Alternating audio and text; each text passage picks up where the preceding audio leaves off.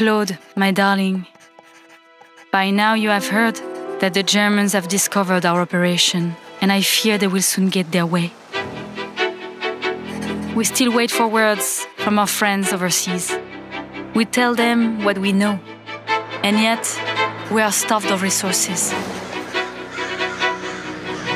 If this is to be my last letter to you, know that I have no regrets.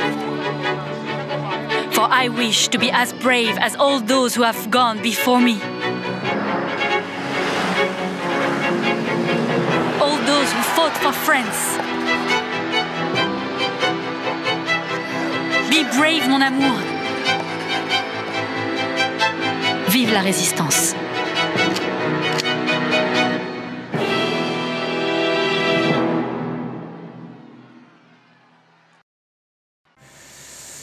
어, 많은 분들이 이제 언제 하초바이언 하냐 새 DLC 물어보셨는데 지금 할게요. 어? 이 모자 나 있는데 내일 쓰고 와야겠다. 아, 영문판이라 좀 해석, 해석을 해가면서 좀 발음이 좀 안 좋아도 잘 못 읽어도 이해를 좀 해주세요. 한글판으로 하는 거랑 영문판으로 하는 거 확실히 좀 다르니까.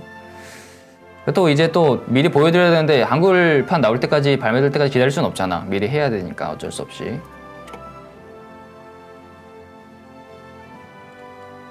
프랑스가 추천이라고 하는데 어, 이번에 프랑스 tech tree 특히 이제 아까 읽어드렸듯이 다시 이제 왕정 복구하는 거 그런 거 재밌을 것 같아요. 다시 강력하게 프랑스를 위대하게 다시 만들어서 독일 놈들을 밀어버리는 거지. 나치 놈들을.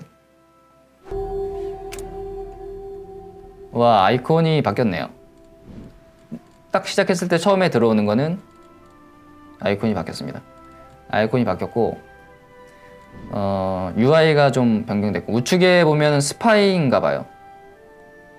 operative 작전 map이 생겨가지고 현재 우리가 빵으로 돼 있네 counter가 counter intelligence가 0입니다. 첩보 이런 것 중에 방첩하는 게 0인가 봐요. 그게 보이고요 눈에 일단은 어, national focus tree에 눈, 눈이 딱 들어오는 거는 이거. 휠로 줌인 줌아웃 할 수 있다고 돼 있네요. 오. 이게 진작에 들어가 있어야 되긴 하는 거 하는 거였는데 이게 tree가 길어지니까 처음에는 별로 신경 안 썼는데 tree가 길어지니까 옛날에는 이게 이렇게 움직였어야 됐어 계속. 근데 이제 줌인 줌아웃 생겨가지고 좀 빨리 이동할 수 있고 또 한눈에 좀 태그를 볼 수 있다 이런 게 있고 이게 눈에 확 띄네요. 그리고 어, 서치를 해가지고 내가 원하는 포커스를 찾을 수가 있네요. 가령 내가 무슨 뭘 찍어야 된다 하면은 서치 해가지고 할 수 있는데 뭐 가령 뭐 뭘 서치를 해볼까? 저메니에 대한 게 있네? 아니면 뭐 리, 폼에 대한 거 있나? 리폼 어, 리폼에 대한 리폼에 대한 것만 딱 뜹니다. 리폼 설명이나 아니면 제목에 관련된 그런 게 검색이 다 되는 것 같고요. 음흠. 그리고 정치에 대한 것만 딱 볼 수도 있고 이걸 찍으면 정치가 올라가나 내려가나 이런 거 리서치에 대한 것도 딱 볼 수가 있고 이거 필요했어요. 리서치가 특히 이제 추가 리서치 슬롯을 주는 게 있는데 그거 리서치에 대해서 어, 딱 볼 수 있고. 이게 스파이 쪽 관련된 건가 보다. intelligence agency 해가지고 에이전시를 만들어서 뭐 방첩을 하거나 첩보질을 하거나 그럴 수가 있는 것 같아요. 이건 나중에 게임 하면서 해봅시다. 근데 이제 무조건 할 수 있는 건 아니고 어, 빌딩이 들어가네요. 다섯 개나 들어가네. 민간 민간 민간 건물이 민간 공장이 민수 공장이 다섯 개나 들어가네. 그래서 자기가 어, 마크도 할 수 있고 마크 요거밖에 없어. 에이. 마크 할 수 있고 이름도 정할 수 있고 그래서 에이전시를 만들 수 있다. 이런 게 눈에 보이고요. 아마 이제 저머니 쪽으로 보면 예. 다 보이진 않아. 25%, 10%, 15%, 10% 밖에 안 보이는 것 같아. 이게 지금 10%면 대략적인 사단 수, 맨파워만 보인대요. 30%, 50%, 70%, 80%, 90%가 됐는데 100%면 다 보이는 거고 이 퍼센트에 따라서 보이는 게 다른가 봐요. 그러니까 우리가 나중에 이제 첩보 에이전시를 만들어 가지고 걔들 이제 스파이를 보내면 걔들이 정보를 알아오는 거겠죠. 지금 뭐 그 공장에 대해서는 25개, 25%, 10%, 15%, 10% 이렇게 보이네요.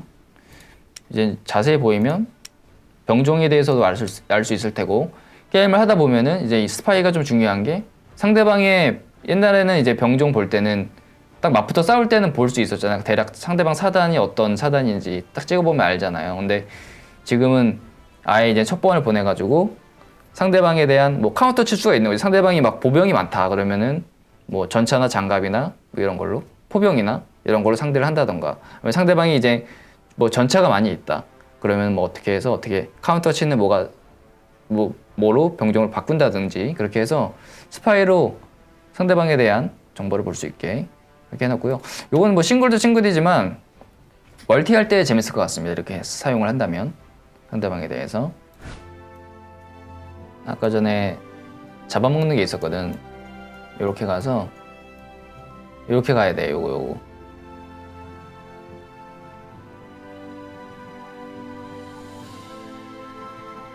제3제국. 나폴레옹 6세.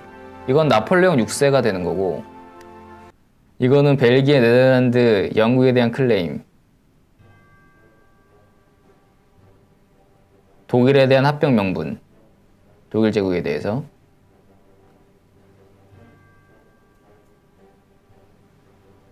소비에트에 대해서 합병 명분. 이게 재밌겠다. 이쪽이 더 재밌겠다. 오늘 뭐 첩보 그리고 새로운 미션 트리 프랑스 그리고 UI 구조도 좀 바뀐 거 이런 거 좀 알아봤고 내일은 조금 더 진행을 해보, 해보고 요거 나폴레옹 나폴레옹 요거 만드는 거 3제국 만드는 걸로 어, 진행을 해보도록 합시다. 그리고 요거는 이제 제가 유튜브에 올려드릴 테니까 앞에 못 보신 분들은 유튜브에 올라온 거 보시면 될 것 같아요.